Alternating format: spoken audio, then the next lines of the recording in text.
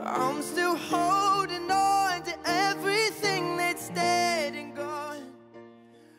What's up, guys? This is Benson Boone, and this is Five Songs in the Life.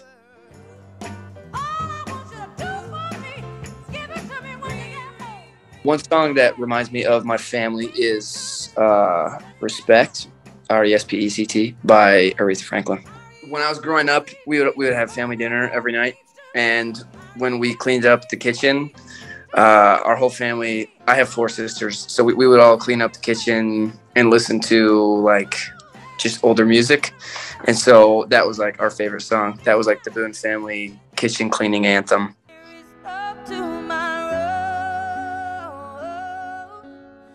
One song that has inspired me a lot, as well as my my music, is "All I Ask" by Adele. Um, it, that is one of like the first songs um, that I remember just truly being blown away by. Um, and Adele in general is just amazing. Um, so yeah, yeah.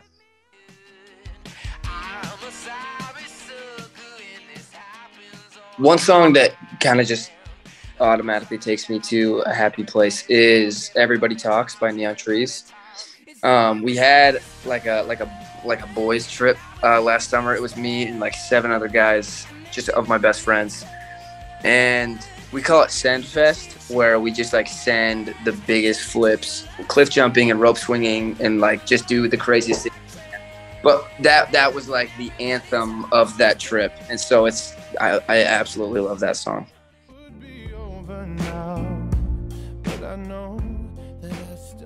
My go-to karaoke song is definitely uh okay, well there's like two. Sorry, so I'm picking between the two. But they're both Sam Smith songs. But probably the one that I like the most is um Not the Only One by Sam Smith. I don't know if I believe in. 'cause I don't know One song that I think well that I would love for everyone in the world to hear is In the Stars. Um it's just you know, it's a very personal song and it's about something that's meaningful to me. Um, so I think everyone can relate to it, and I absolutely love it. Yeah. Here I am alone between the heavens and the earth.